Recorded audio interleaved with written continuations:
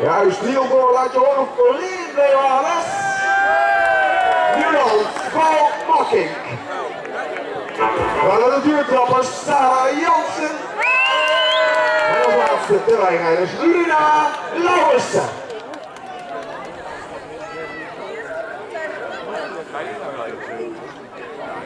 in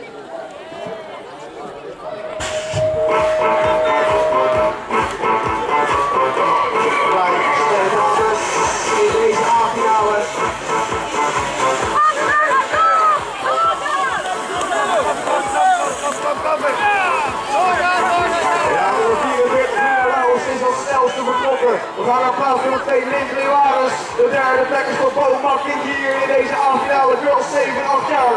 De 16e finale alweer van vandaag. Van de tweede wedstrijd op het afdelingskampioenschap 2015. Nina Lauwersen voor Linde Lewares. We hebben naar Makking is gebleven.